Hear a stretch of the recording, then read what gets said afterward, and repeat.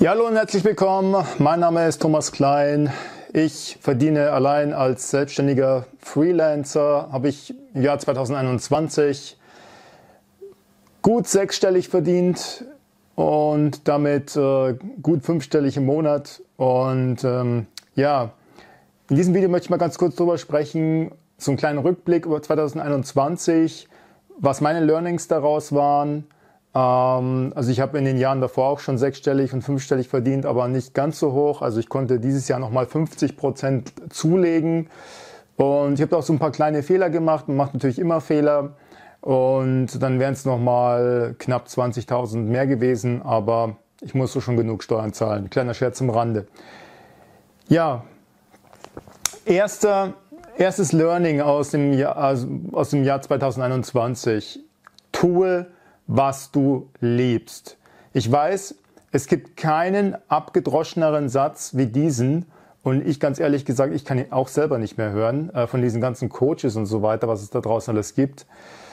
Ähm, aber in so einer, sagen wir mal, in der gestaden Zeit, wie wir in Bayern sagen, ja, wenn alles so ein bisschen runtergefahren wird, äh, weil ich bin im B2B-Business zu Hause und da passiert halt, sagen wir mal, über die Weihnachtsfeiertage. Das ist die einzigsten zwei Wochen Weihnachtsfeiertage und dann von Weihnachten bis Neujahr.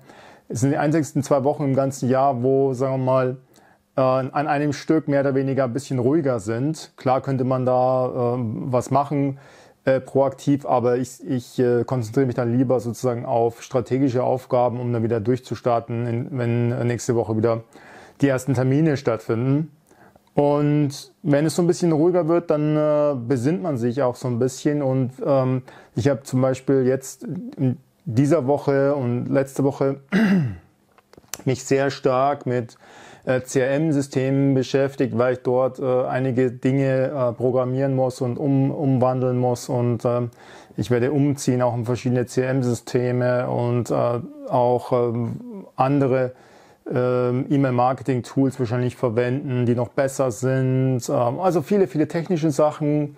Ich habe ein paar Videos gedreht, ich habe mich äh, ein bisschen reingearbeitet in verschiedene Sachen hier, ein paar Bücher gekauft, äh, E-Myth, ähm, so Standardbücher halt, 80-20 Rule und so weiter. Also ähm, Negotiation, ja, ähm, Never Split the Difference. Also das ist auch recht gut von so einem FBI-Agent ja, der ähm, quasi ein Buch geschrieben hat, also der quasi 20, 30 Jahre lang äh, mit Schwerverbrechern quasi so von zwischen Tür und Angel mit irgendwelchen Leuten halt äh, negotiated, also verhandelt hat, ähm, wo die irgendwie eine, eine, Knarre in der Hand hatten, ja, und fünf Stunden lang sich in, in einem Zimmer eingeschlossen haben.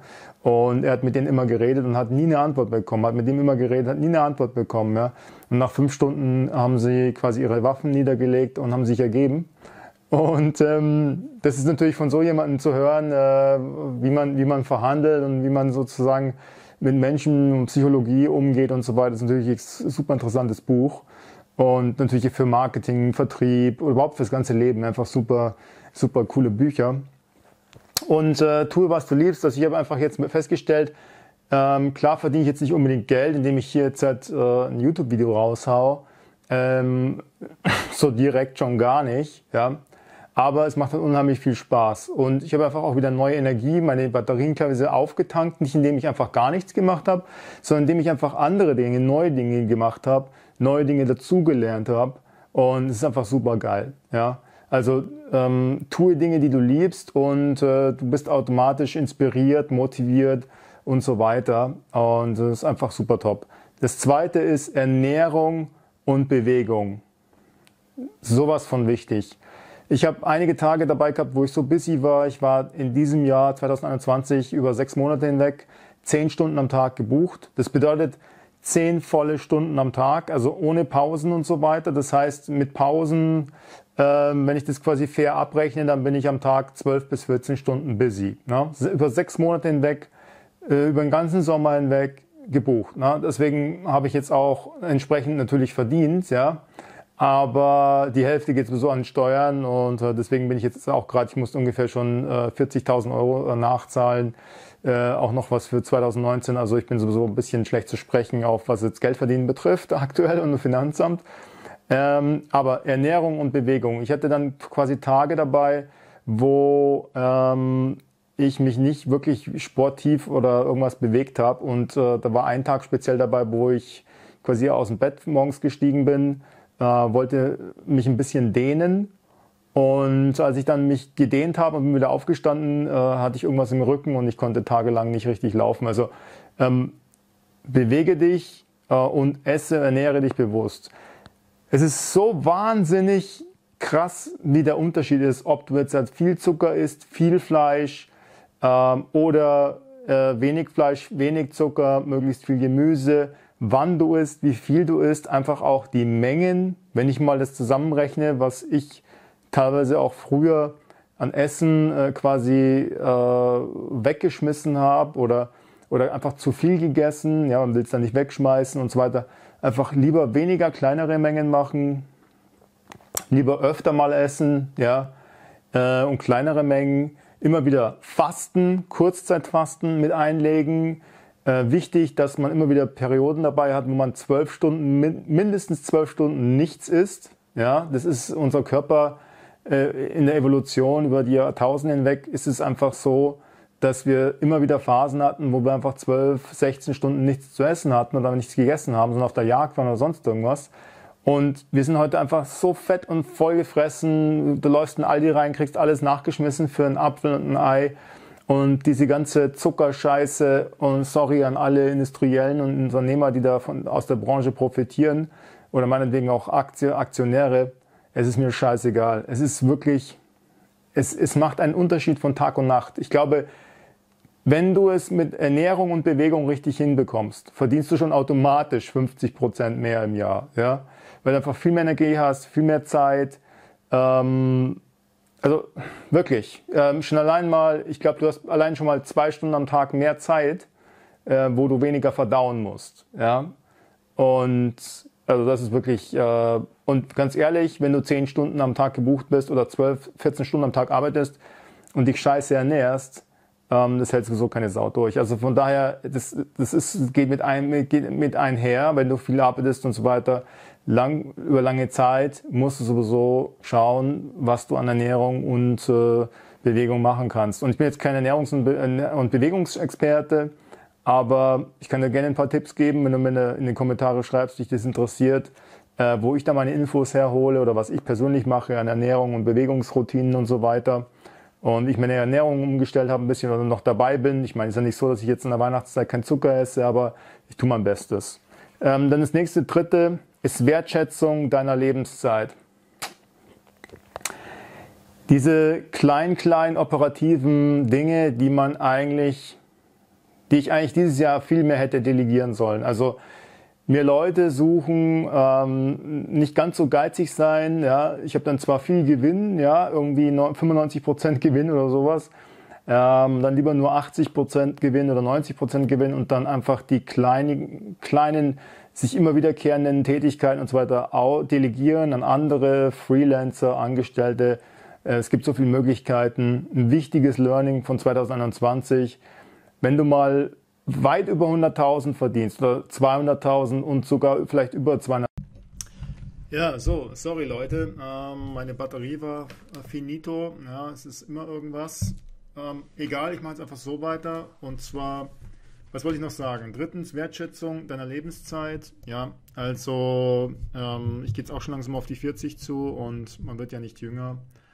Und von daher super, super wichtig, dass man einfach ähm, wirklich das Beste, das Optimum aus seiner Lebenszeit heraus macht. Ja, also man kann da einfach nicht genug, ähm, sagen wir mal,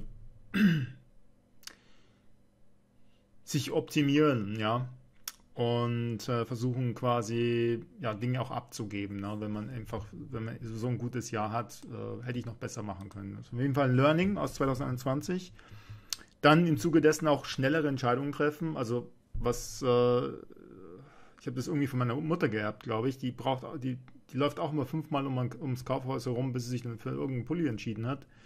Auf jeden Fall alles, was an Investitionen ist, wenn du mal quasi 100, 200.000 oder sowas Umsatz machst im Jahr, alles was an geschäftlichen Investitionen ist oder Tools, die 50 Dollar kosten im Monat, die du jederzeit wieder kündigen kannst. Einfach kaufen, zack, machen, durchackern, ja, wieder abbestellen, wenn es nichts war, ja, ähm, ohne nachzudenken. Ähm, ein Computer für 500 Euro oder sowas, nicht lange überlegen, welche Farbe, welches hat der beste Motherboard, Keyboard oder sonst irgendwas. Einfach schnell Bewer Bewerbung, zack, zack, zack, zack, zack, ja.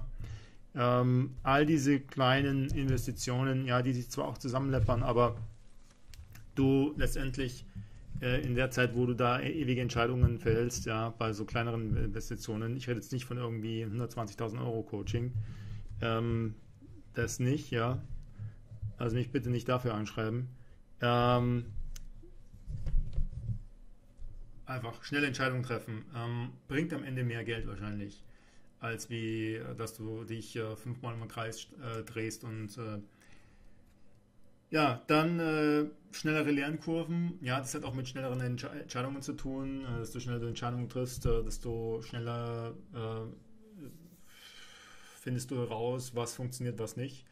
Und dann hast du schnellere Lernkurve. Insgesamt geht es dann einfach schneller voran. Ja, insbesondere beim Marketing, Vertrieb. Also das ist auf jeden Fall eine sehr, sehr wichtige Geschichte. Ja, und damit möchte ich das Video beenden. Sorry, dass diese Unterbrechung war und so weiter, aber die Batterie war halt leer von meinem, von meinem, ähm, meiner super Kamera hier, von meiner Lumix. Ähm, und ein super geiles Teil. Also ich habe noch nie so eine Kamera gehabt, die Preis-Leistungs-Verhältnis so gut ist. Also die hat ähm, das ist die 25600. Das äh, wird, glaube ich, 350 Euro gekostet und ist einfach super geil. Ja, kann ich da auch einen Link hier unten reinmachen von der Kamera. Bis zum nächsten Mal. Dein Thomas Klein. Wir sehen uns im nächsten Video. Bis dann. Ciao.